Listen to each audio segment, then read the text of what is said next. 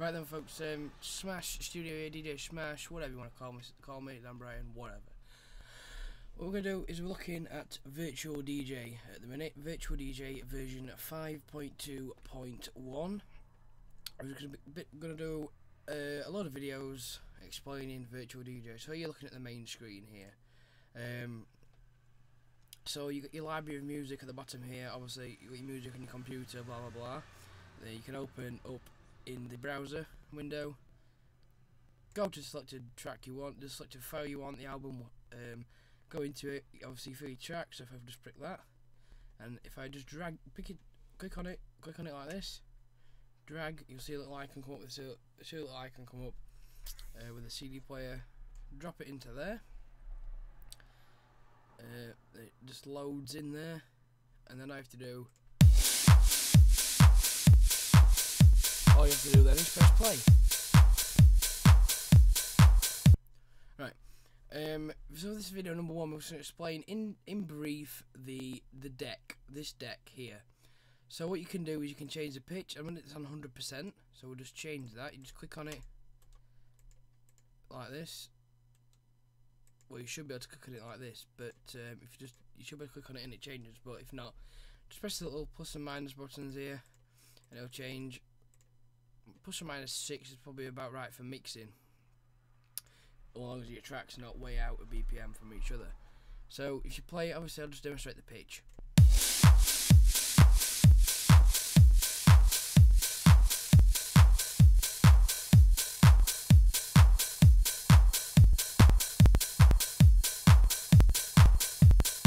So there's your pitch. Um, as I said this video on this is not looking in depth it's just brief um, you've got a loop sampler, so basically what you can do is assign it to a, uh, a sample, so we set to number one. Now if you is press record, we want to record it.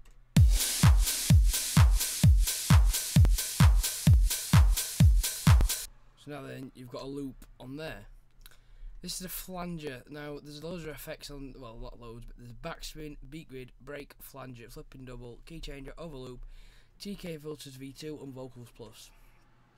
We're not going to go over each one um, today, but basically you effect select, effect select, turn it on and off. You've got your parameters here. Obviously change the um, level of the effect. So I'll just demonstrate the flanger.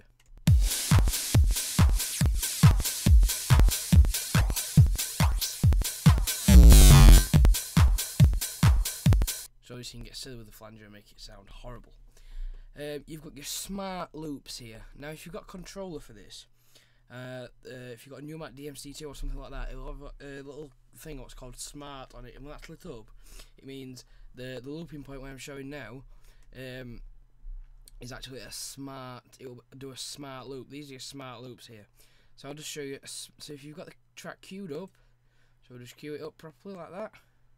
Cue, um, and we put press four on here Press play, it will do a 4 bar loop.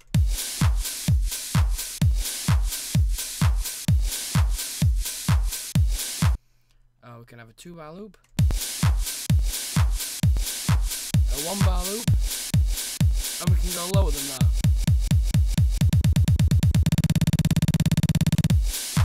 So obviously you can do your own remixes on the fly if you want to. Obviously there's 8, 16 and 32 bar as well, and you can shift the loop, and obviously you can change the length um, by this one here. Uh, you've got cue points, so you can have as the track goes along, you can set cue points, so you can like do remixes and stuff like that on the fly as well as the looping. You've got this, which enables you to scratch. Obviously, you've got control, it's a lot better for it. Um, you've got this, put it in reverse. Obviously, the track's not playing, so if I play it and then put it in reverse, reverses the track, so just take that back off.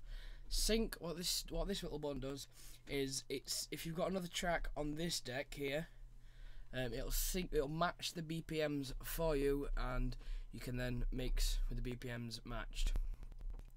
Um, this is a key lock button, so if I take the key lock off, I'll just change change the picture a bit so you can see what I mean. Take the key lock off, the key will change as well as the pitch to show you. Before kill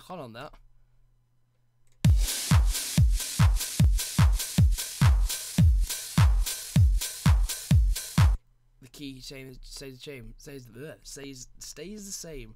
Can't get words out. Anyway, um, anyway, yeah. You could hear when I moved it like that with the key lock on. It started to get a bit digitally, but you expect that from it anyway. So yeah, uh, obviously pitch bend here plus and minus, and that is to eject the song off the deck. So that's a brief overlook on the first deck of Virtual DJ version 5.2.1. Thank you very much. Practice and enjoy.